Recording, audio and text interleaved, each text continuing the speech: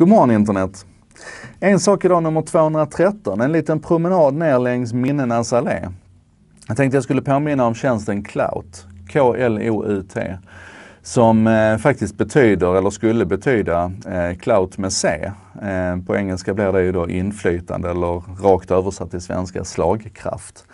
Vad Cloud lovade oss att göra det var att eh, alla vi som fanns på internet, vi skulle få ett Cloud score. Vi skulle få ett värde mellan 0 och 100 som försökte definiera hur inflytelserika vi var. Vilken slagkraft vi hade på nätet helt enkelt. Och eh, Tittar man på, på hur det ser ut mot slutet här nu så kan man konstatera att Obama hade Cloud score 100.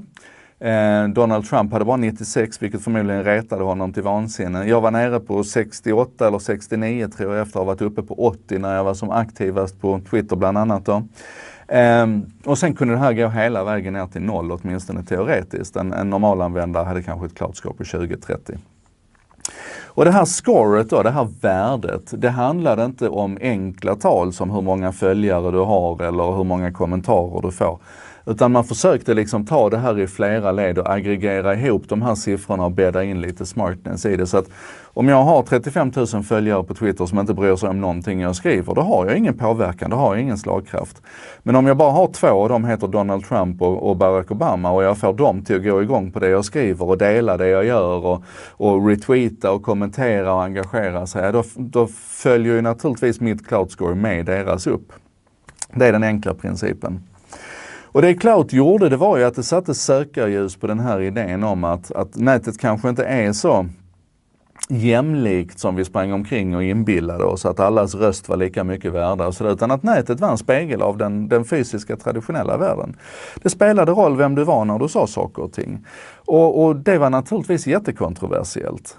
För min del så är väl den stora lärdomen att allting som kan vägas och mätas och, och, och, rankas och läggas i listor, det kommer att vägas och mätas och rankas och hamna i listor. Alltså, för den som till exempel jobbar med influencer marketing idag så är ju de här verktygen nyttiga.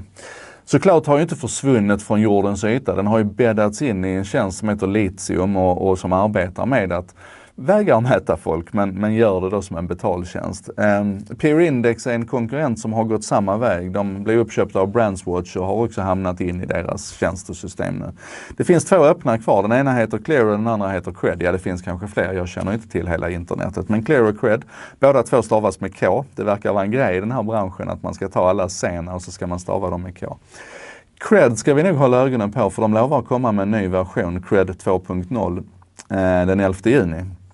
Det kan bli spännande. Um, när det här diskuterades som flitigast så var det ju verkligen en, en otrolig diskussion. Bland annat så, så användes clout i, i anställningsannonser. Alltså, man satte upp det i kravspecen att för att få det här jobbet som marknadschef så måste du ha minst 60 i cloud score.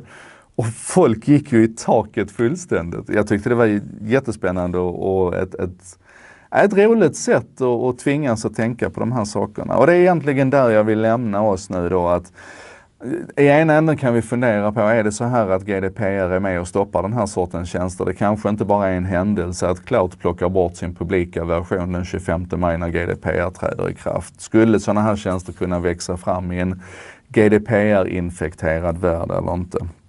Det kan vi klura på. Men framförallt så tror jag vi ska klura på det faktum att den här sortens tjänster har funnits och kommer förmodligen alltid att finnas.